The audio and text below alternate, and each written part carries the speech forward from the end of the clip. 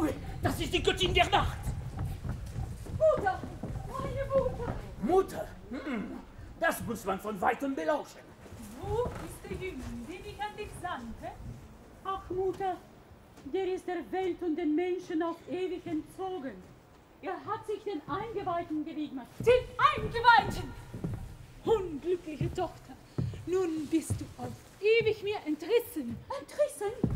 Liebe Mutter, dürfte ich den Jüngling als Eingeweihten nicht ebenso lieben, wie ich ihn jetzt liebe? Was? Höre ihr! Du, meine Tochter, könntest die schändlichen Gründen diese Barbaren verteidigen. So einen Mann lieben, der mit meinem Todfeind verbunden, mit jedem Augenblick mir meinen Schutz bereiten würde.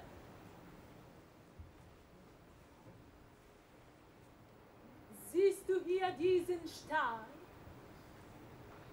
Ist für Sarastro geschnitten.